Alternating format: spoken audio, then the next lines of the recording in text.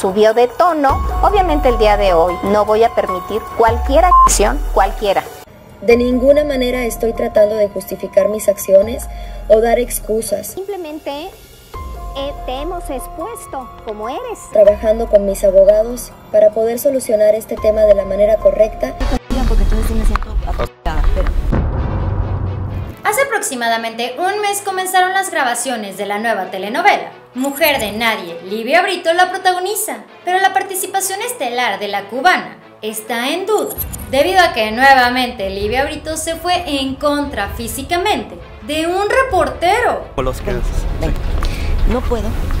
Sí, pero no, no, no. Sí, ponlo, ponlo, ponlo en pausa. El reportero del programa Ventaneando, Roberto Ega, dio a conocer que Livia Brito intentó quitarle sus cosas sin permiso y hacerle mal físicamente. Esto después de que la cubana se negara rotundamente a darle una entrevista.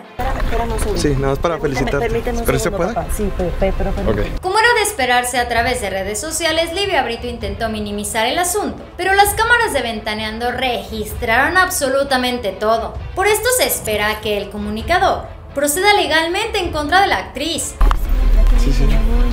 Es que te vas a ocupar. Tú, tú tranquilo, relaja. Con Ernesto Cepeda, Livia Brito casi casi se reía en su cara. Ahora la situación es total y completamente diferente. Livia no podrá comprar ni a los testigos ni a las autoridades, como lo hizo con Ernesto Cepeda en su viaje en Cancún. Fue muy clara cuando dijo no doy entrevista porque en ese programa me han tratado mal. Patti Chapoy, el programa Ventaneando y todo TV Azteca ya está preparando una nueva edición para poder írsele con todo a Livia Brito. Esto genera una enorme preocupación en Televisa porque Livia es la protagonista de su siguiente telenovela. Es una actriz, pero ella sube este video a las redes. La productora Giselle González está más que preocupada porque sabe perfectamente que Patti Chapoy junto con todo TV Azteca pueden que soliciten que las autoridades agarren a la actriz por haberle hecho mal físicamente a uno de sus reporteros. Me fui y me empezó a seguir pidiéndome la entrevista. Y yo le dije, oye,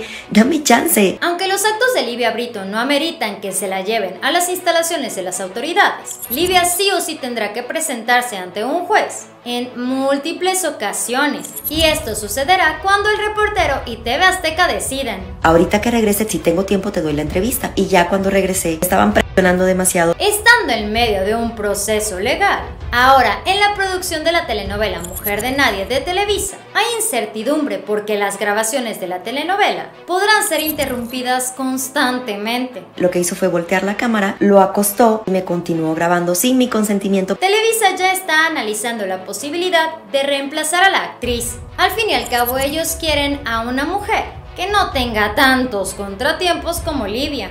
Hay actrices que son literalmente un pan de Dios. Continuó grabando, entonces lo que hice fue ponerle pausa yo a su celular. Y ya, eso fue lo que pasó. Si a Livia Brito le quitan ese protagónico, Televisa también perderá muchísimo dinero. Pero eso no se compara con la posibilidad del dinero que ellos vayan a perder si Livia en plena grabación se tiene que ir al juzgado. Mucho gusto les regalo las entrevistas, pero cuando tenga tiempo, de verdad, cuando esté bien. Este fue el Muro de la Fama. Dale like a este video, suscríbete y síguenos en Facebook.